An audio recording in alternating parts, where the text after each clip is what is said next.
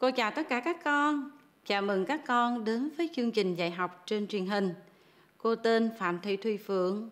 Cô rất vui khi gặp lại các con và được đồng hành với các con trong tiết tiếng Việt ngày hôm nay. Các con thân mến, để giờ học đạt được hiệu quả thì các con cần chuẩn bị sách tiếng Việt 2 tập 1. Các con cũng nhớ ngồi học ở nơi có đầy đủ ánh sáng và nhớ không ngồi quá gần màn hình. Tập trung nghe cô giảng bài và thực hiện các nhiệm vụ của bài học. Các con đã sẵn sàng vào bài học chưa? Chúng ta sẽ cùng đến với tiết học cuối của chủ điểm ngôi nhà thứ hai thông qua câu chuyện về các loài chim. Chúng ta sẽ cùng tìm hiểu xem loài chim đã xây ngôi nhà yêu thương của mình như thế nào nhé. Trước khi bắt đầu câu chuyện, cô và các con hãy cùng xem các bạn chim xây nhà của mình qua đoạn phim sau.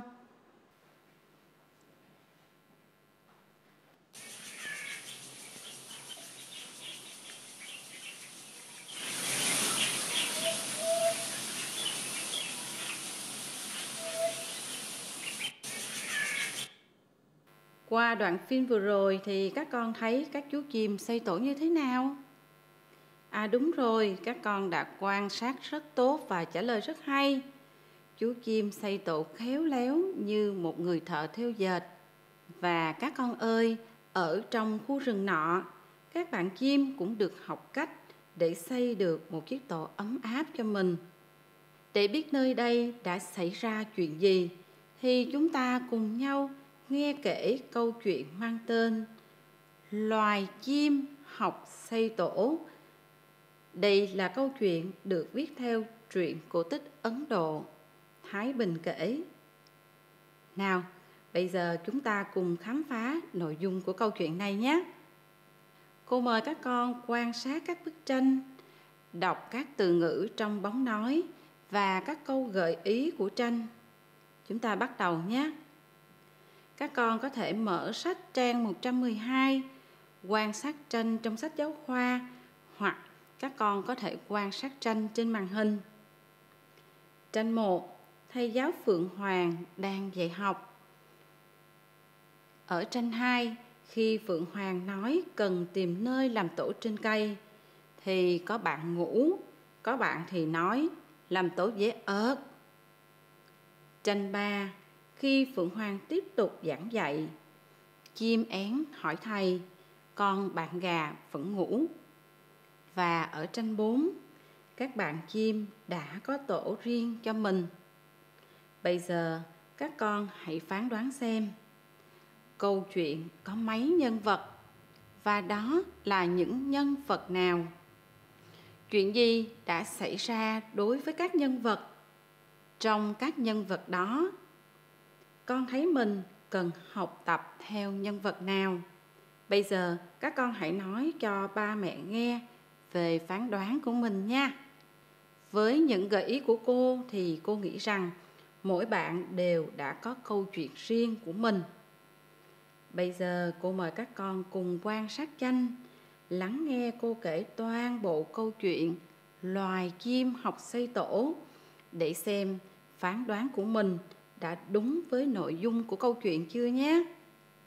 Thầy giáo Phượng Hoàng mở lớp học dạy các loài chim về cách làm tổ. Nó nói, làm tổ không dễ. Gà mới nghe đã ngủ ga ngủ gật. Phượng Hoàng tiếp tục hướng dẫn. Trước hết, phải tìm trên cây chỗ có chạc ba, rồi tìm những cành dẻo uốn cong lại đang thành một cái rổ con vừa nghe đến đây bạn cú đã nghĩ gì vậy các con đúng rồi, bạn cú nghĩ rằng làm tổ dễ ợt, thế là nó liền bay đi phượng hoàng vẫn tiếp tục hướng dẫn cách làm tổ các con thấy, khi thầy giảng thì bạn én như thế nào à bạn én vẫn say sưa lắng nghe và làm theo chỉ dẫn của Phượng Hoàng. Các con giỏi lắm. Cô tin rằng bạn nào cũng đang say sưa nghe cô kể chuyện giống như là bạn én trong câu chuyện đúng không nào? Bây giờ chúng ta hãy cùng lắng nghe chuyện gì xảy ra tiếp theo nhé. Sau khi tổ đã bệnh xong, én dùng đất sét trát lại, rải bên trong một ít rơm mềm. Nó cảm ơn Phượng Hoàng, cúi đầu chào rồi bay lên trời xanh.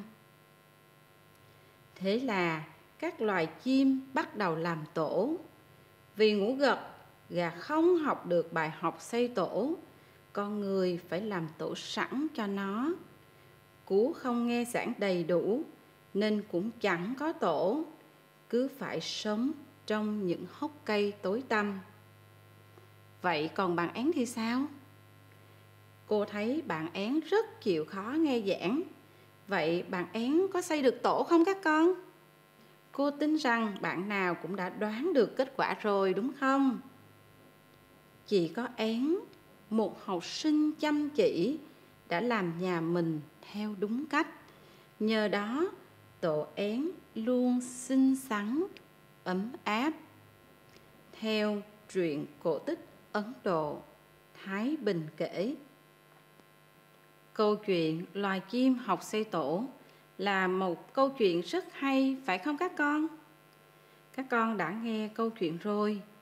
Bây giờ hãy kiểm tra lại với phán đoán ban đầu của mình có giống với nội dung mà cô vừa kể không?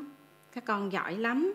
Các con đã quan sát kỹ nội dung bức tranh và phán đoán đúng với nội dung của câu chuyện.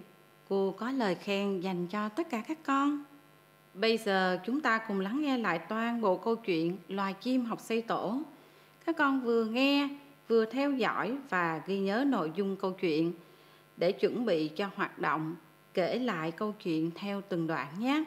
Thầy giáo Phượng Hoàng mở lớp học dạy các loài chim về cách làm tổ.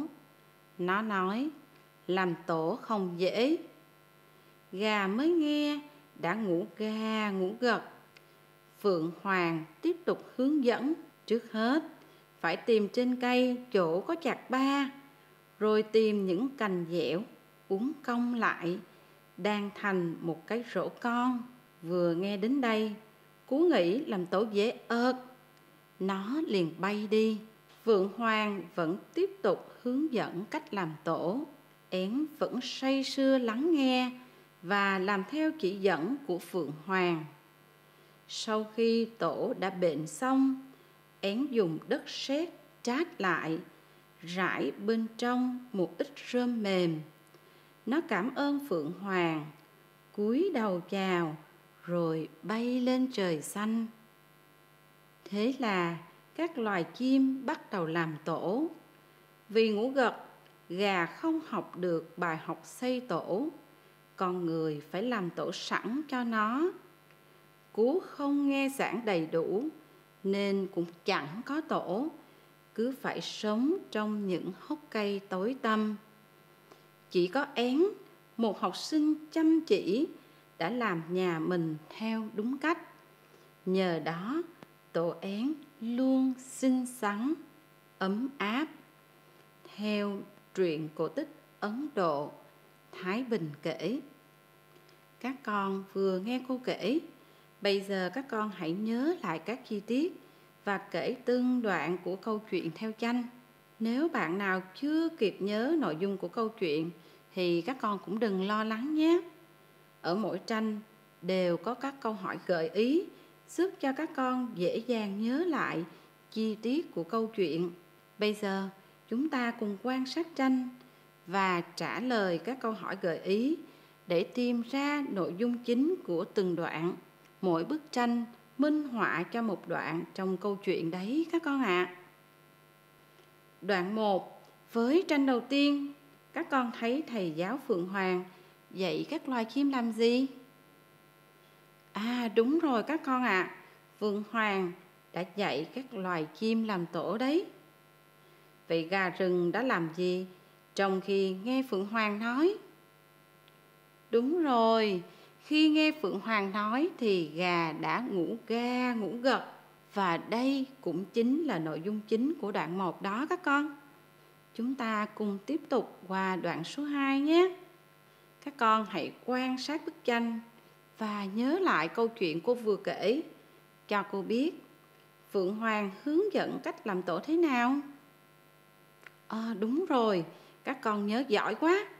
Phượng Hoàng hướng dẫn trước hết phải tìm trên cây chỗ có chạc ba, rồi tìm những cành dẻo uốn cong lại, đang thành một cái rổ con. Vậy bạn Cú có chăm chú lắng nghe Phượng Hoàng nói không các con? À, nếu quan sát bức tranh thì các con cũng dễ dàng nhận thấy Cú không chăm chú nghe Phượng Hoàng nói. Vì sao vậy? À đúng rồi, vì nó nghĩ là làm tổ dễ ớt. Cô có lời khen dành cho các con vì các con đã quan sát tranh rất tốt và hiểu được nội dung của đoạn 2. Bây giờ chúng ta hãy cùng nhau đến với đoạn 3 nhé. Khi Phượng Hoàng tiếp tục giảng giải, thái độ của én khi thế nào? Đúng rồi, én vẫn say sưa lắng nghe và làm theo chỉ dẫn của Phượng Hoàng. Vậy các con hãy nhớ lại câu chuyện én làm tổ của mình ra sao? Các con nhớ giỏi quá, các con nhớ rất tốt được nội dung của đoạn 3. Én đã dùng đất sét chát lại, rồi rải bên trong một ít rơm mềm. Tranh cuối cùng chắc hẳn là các con cũng đoán ra được nội dung của đoạn 4 rồi đúng không? Vậy nội dung của đoạn 4 là gì? Đúng rồi, đoạn 4 nói về kết quả xây tổ của từng loài chim. Gà không học được bài học xây tổ, nên con người phải làm tổ sẵn cho nó.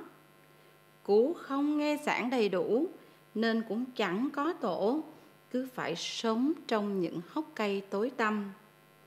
Vậy, nhờ chịu khó nghe giảng, thì tổ của bạn én như thế nào các con? Đúng rồi, nhờ nghe lời thầy giảng mà én đã làm nhà mình đúng cách. Nhờ đó, tổ én luôn xinh xắn và ấm áp. Vậy theo các con thì chiếc tổ nào tốt nhất và vì sao? Các con giỏi lắm. Các con đã lựa chọn đúng chiếc tổ tốt nhất. Đó chính là chiếc tổ của chim én. Vì én là một học sinh chăm chỉ, lắng nghe Phượng Hoàng giảng bài nên đã làm tổ được đúng cách. Như vậy các con vừa tìm hiểu nội dung của từng đoạn qua bốn bức tranh. Bây giờ các con hãy chọn một đoạn mà các con thích nhất để kể lại. Bạn nào giỏi thì các con có thể kể thêm các đoạn khác nữa nhé. Để cho câu chuyện của mình hay hơn và thu hút người nghe thì các con nhớ, khi kể, các con hãy tự tin nhìn vào người nghe các con có thể kết hợp với cử chỉ, điệu bộ cho phù hợp các con cũng có thể sáng tạo, miêu tả thêm một số chi tiết, hoặc là các con có thể nêu thêm một số lời thoại để câu chuyện của mình trở nên hay hơn, thu hút người nghe hơn đấy các con. Và đặc biệt, sau mỗi câu chuyện thì các con hãy nhớ rút ra cho mình bài học nhé. Qua câu chuyện, loài chim học xây tổ, con thích nhân vật nào? Và trong các nhân vật đó, mình cần học tập theo ai? Các con hãy quan sát trên màn hình ba nhân vật của câu chuyện. Các con hãy giải thích lý do của mình cho người thân nghe nhé. Cô nghĩ có bạn thì sẽ thích phượng hoàng, vì phượng hoàng rất giỏi, biết hướng dẫn cho các loài chim làm nhà. Cũng có bạn, các con sẽ thích chim én, vì chim én chăm chỉ học tập làm được chiếc tổ thật là xinh xắn. Cô cũng đồng ý với sự lựa chọn của các con. Các bạn trong câu chuyện đều có điểm đáng khen, đúng không các con? Vậy khi nghe thầy cô giảng bài, thì các con cần làm gì? Các con cần chú ý lắng nghe lời thầy cô giảng để có thể nắm được nội dung bài học. Ngoài ra, các con cũng cần vận dụng các kiến thức đã học vào trong cuộc sống và các con hãy chia sẻ kiến thức đó cho mọi người, cũng như các anh chị của các con trong nhà. Cô tin rằng bạn nào cũng sẽ học chăm ngoan và biết chia sẻ những điều hay của mình cho mọi người, đúng không các con? Bài học của chúng ta đến đây là kết thúc rồi. Các con hãy luyện tập, kể lại toàn bộ câu chuyện loài chim học xây tổ cho gia đình mình nghe và nhờ ba mẹ ghi âm lại để gửi cho thầy cô, nhờ các thầy cô nhận xét cho các con nhé. Và các con nhớ thực hiện những điều cô đã lưu ý các con trong tiết dạy. Tiết học đã kết thúc rồi. Cô xin chào, tạm biệt và hẹn gặp lại các con trong các tiết học sau.